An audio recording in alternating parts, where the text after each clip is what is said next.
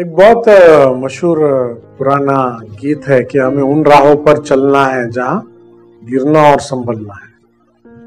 तो जीवन चलने का नाम है।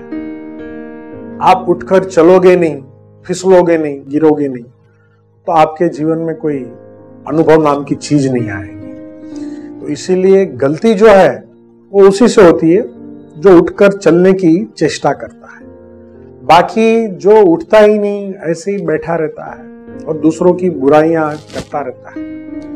उसका जीवन निरर्थक है। वो किसी काम का नहीं होता है और वो ऐसे ही पड़े रहता है।